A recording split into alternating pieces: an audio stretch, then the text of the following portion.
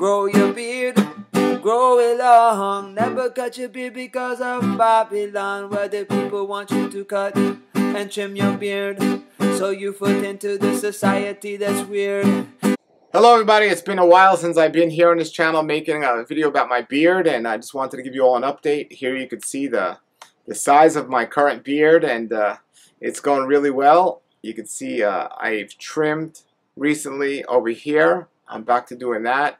Uh, much neater look. Uh, I'm on the camera a lot, a much more better look for the camera. But some things has happened since I made my last couple of videos and I keep making the videos. More and more people have beards these days, or more and more men have beards these days. Uh, you know, there's not this homeless idea anymore about people having a bigger beard.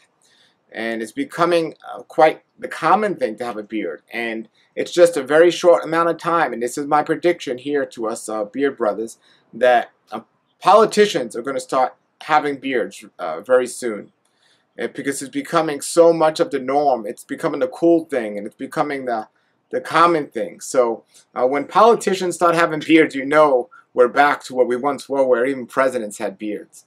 Uh, so uh, we went through this period of uh, manscaping, where so many people were obsessed with shaving, and many people still are. But beards are finally in, and it's working great. As for me and my beard, as I've mentioned in some videos, I finally uh, uh, am in a relationship with a woman who absolutely loves my beard, no how however it is, and she even said she didn't mind me not shaving here, but I decided myself uh, to just trim up there. And the beard's looking uh, really nice, and I almost got it uh, trimmed at, at, a barber recently, but I, I, I, chickened out and I ran out of the chair, and I just came home and did it myself because I don't want them messing it up. Uh, I, I noticed that uh, the beard doesn't stop growing at a certain point. Uh, it just grows slower. I've noticed that. And I've been trimming around my mustache lately as well. That, that's been not necessarily helping me with society and people, but it has been helping me in general. It just helps me look younger and cleaner. And uh, clean haircut helps as well. I don't have hair all over the place. And I just want to encourage everybody out there who's growing a beard, who has a beard, whatever you decide to do, whether it's to let it grow and let it flow or to trim it up and have it a little nice, enjoy it and do it because you want to do it and don't have it because you don't want to have it. Don't let anyone control you and that includes your your spouse or anyone else. I always say the number one reason a man doesn't have a beard is because his spouse doesn't want him to. And that's just uh, uh, not the reason not to have a beard. Uh, so, you know, we want to take in consideration our loved ones and the people that spend the most time around us. Uh, so, you know, being neat and clean is not wrong with that, but you can still have a long beard. Uh, I have a very long beard, and I, I, believe it's neat and clean at this point in my life.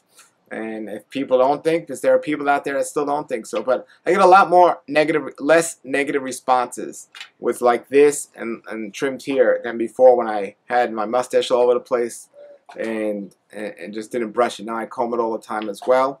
There are still the people that just are not beard people. They just don't like beards.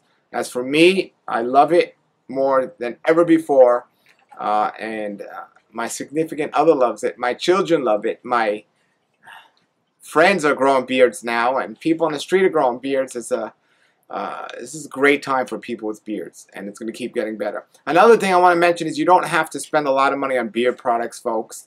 I mean, coconut oil is wonderful.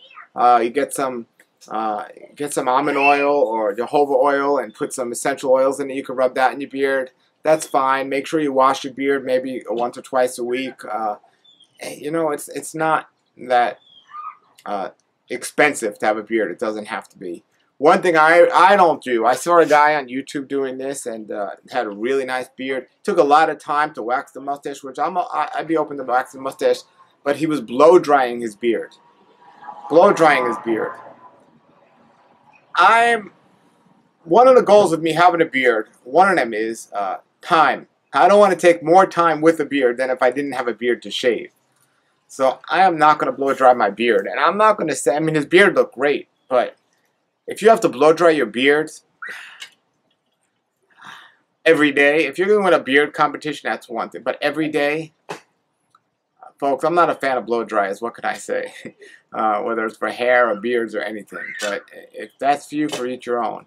Uh, but I'm, I'm feeling good about it. I like it, and uh, and and I find now when I comb it, I guess I'm using the right comb and the right brush. Less hair is coming out, uh, and it, it's just growing. It's it's it's a great life.